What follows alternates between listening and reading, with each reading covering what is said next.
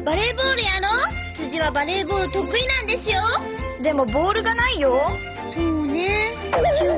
紙風船ならいっぱいあるよ。これでやる？ありがとう矢口さん。やろうやろう。いくよ。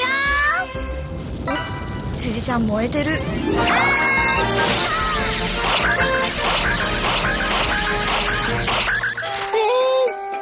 部割れちゃった手加減を知らんのか。ミニモニ一の怪力女。